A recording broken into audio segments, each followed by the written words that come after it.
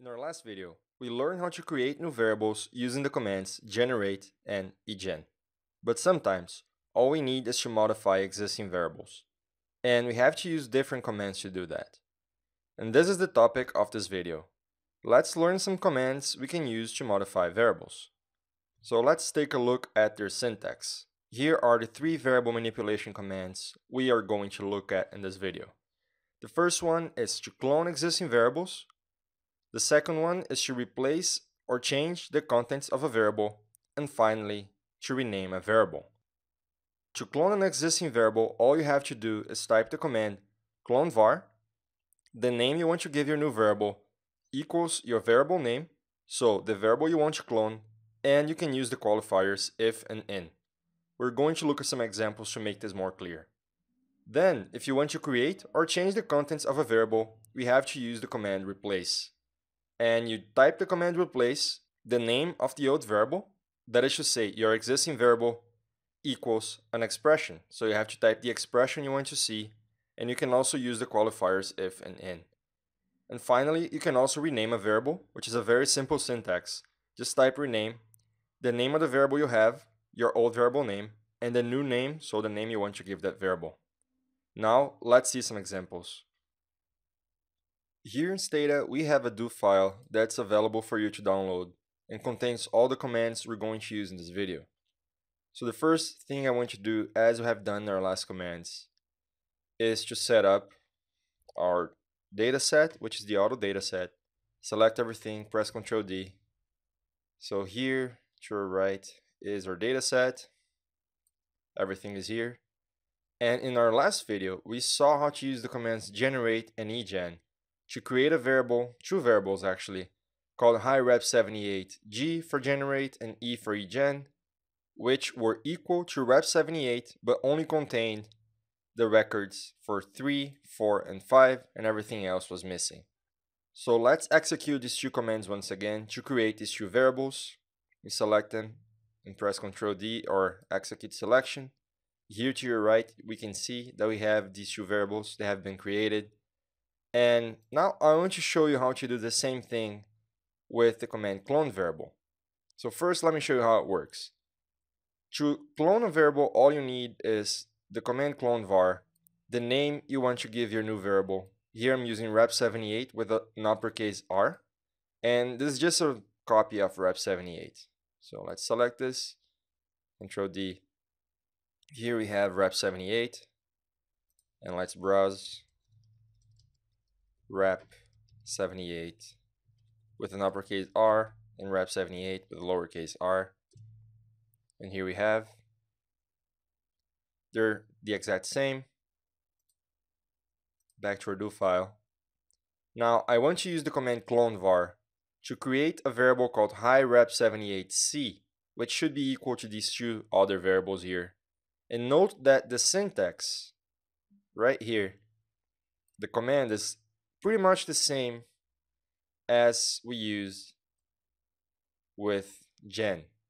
The only difference here is that I'm saying that rep78, hirep78c is going to equal rep78 if rep78 is higher or equal to 3, just like we did here, and different from missing. Because I know the highest value of rep78 is a 5, and I don't want to consider missing values. So this is pretty much the same. I could just as well substitute this for this year, but I just wanted to show you how to do it in a different way. So let me undo this and execute this.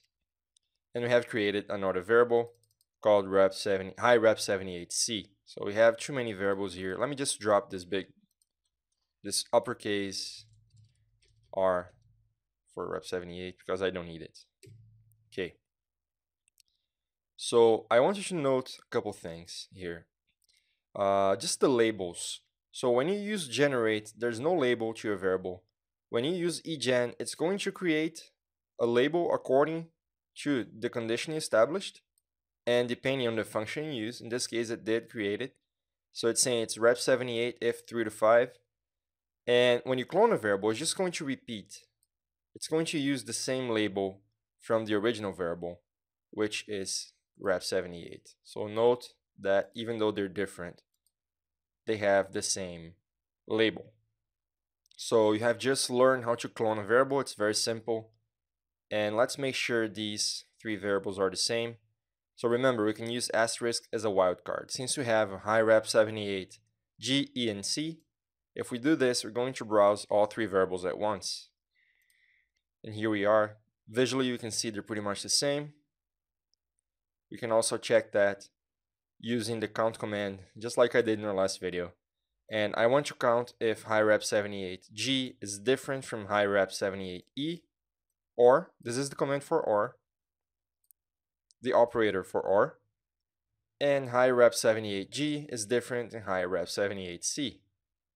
So we want this to be zero because we want high rep 78G to be equal to high rep 78E and high rep 78C. We could also add another expression here to compare E and C, but it's going to be pretty much the same. So if we execute this, we expect the result to be zero. And here it is. Now let's see how we can replace values and why we should use that. So suppose I want to take the new variable I have created, high rep 78C, and I just wanted to keep the records for 4 and 5 repairs. I want to eliminate 3. So what I'm going to do here is I'm going to replace every value 3 with a missing. And the syntax says, please replace high rep 78C equals to missing if, so for every case where high rep 78C is equal to 3. So what I'm doing here is replacing every value 3 in the variable high rep 78 with a missing value. Let's execute this.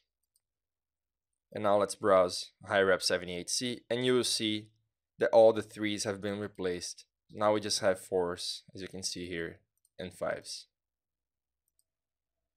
You can also use replace to replace a single value if you want or a list. So instead of using the qualifier if, we're going to use the qualifier in.